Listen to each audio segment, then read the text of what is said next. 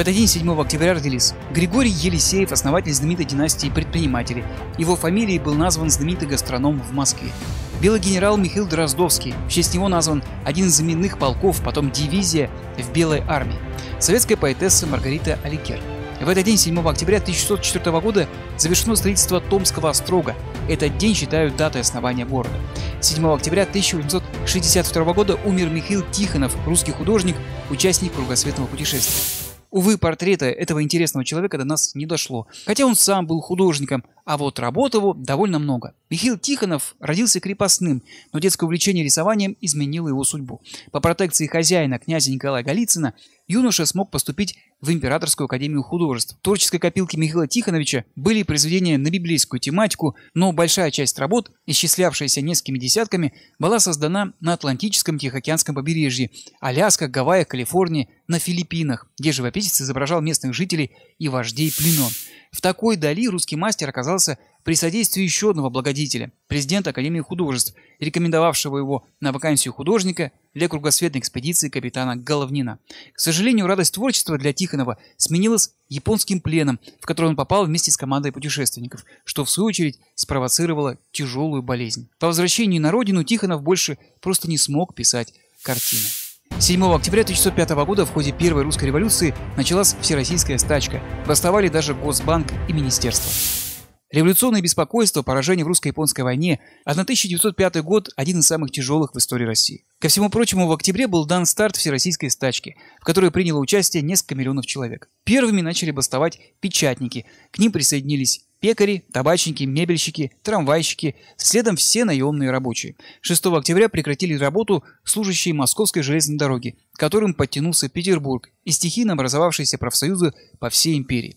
Первоначальным требованием о сокращении рабочего дня, улучшении экономического положения, расширении избирательных прав – Добавились и политические лозунги о свержении монархии, призывы к восстанию. А слов перешли к делу. В пролетарских центрах начали воздвигать баррикады. В столице по приказу столичного губернатора Трепова военные и казаки встречали бастующих боевыми патронами.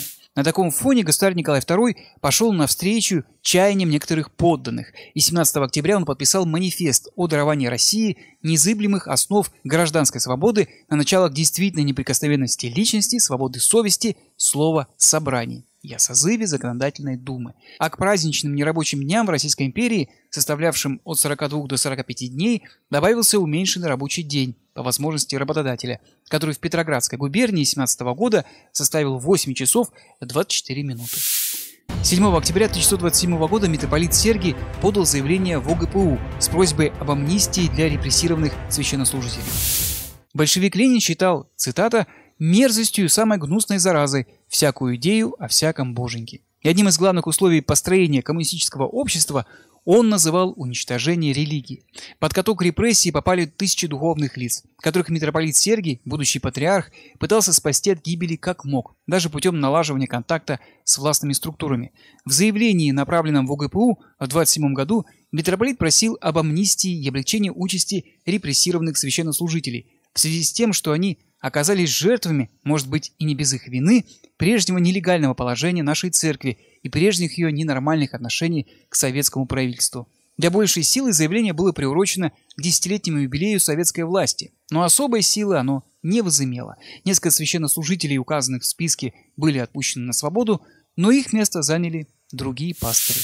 7 октября 1931 года была закончена кладка первой домны на заводе-гиганте в Магнитогорске.